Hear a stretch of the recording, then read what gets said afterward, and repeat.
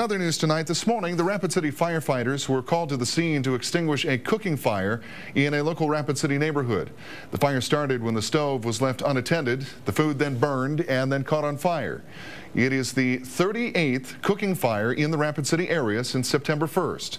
And with the holiday season being the most active time for kitchen fires and for garage fires as well, Rapid City Fire Department is encouraging people to take extra precaution when cooking this holiday season.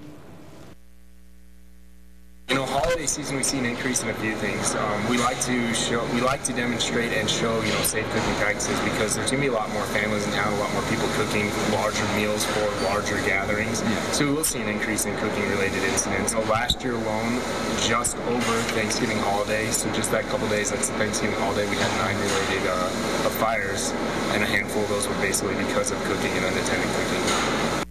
And Kaylin Meningus says there are several things that you can do to prevent cooking fires, such as setting a cooking timer and having a pot holder and lid on hand.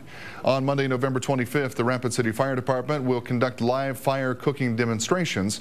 They're going to demonstrate how you can better prepare to be safe with you and your family this holiday season.